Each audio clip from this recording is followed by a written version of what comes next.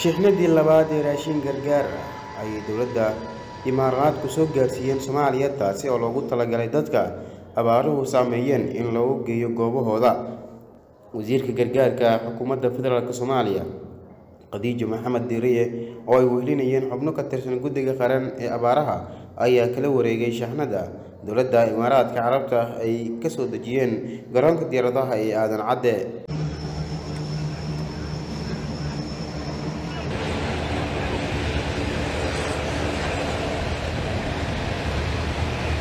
wasiir khadiijo maxamed diiriye oo ah wasiirka wasaaradda gargaarka maareynta iyo musiibooyinka soomaaliya ayaa ugu mahadcelisay dowladda imaaraadka carabta garab istaagga walaalaheeda soomaaliya iyo dadka ay abaaruhu waxyeeleeyeen.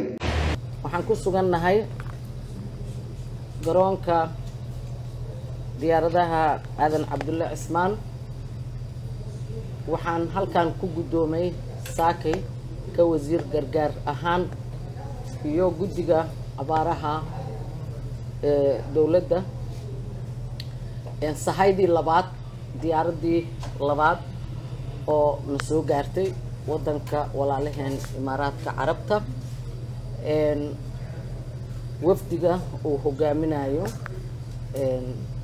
walaalkeen maxamed kacbi bisha cas ee imaaraadka iyo safaaradda soomaaliya u joogta dalka imaaraadka dhammaan dowladda imaaraadka iyo shacabka imaaraadka waxaan uga mahad celinaynaa xaaladan adag ee ummadda soomaaliyeed ay wajahayso xilli abaaro daran oo dalka uu ku jiro xaalad bini aadannimo oo deg deg ah.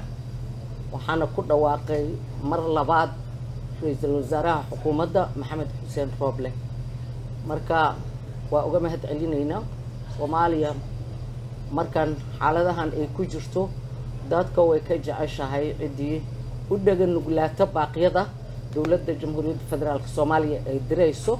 Walaalaheen imaaraadkana waa markii labaad ay hadda diyaarad sahay gargaar wadda oo raashiin ah ayna soo gaarsiiyeen. Zikriya cusmaan cabdisaki soomaali warbaahinta city. Waad ku mahadsan tahay daawashadaada. Inaad nagu soo biirto wax lacaga kaagama baxayso. Keliya waxaad u baahan tahay inaad falow saarto boggeenna facebook ama aad sabskraib dhahdo janaalkeenna youtube adigoo bartilmaamaydsanaya city somaali t v an rediyo la jaanqaad warbaahinteenna oo hel warar iyo barnaamijyo adiga kaa hadlaya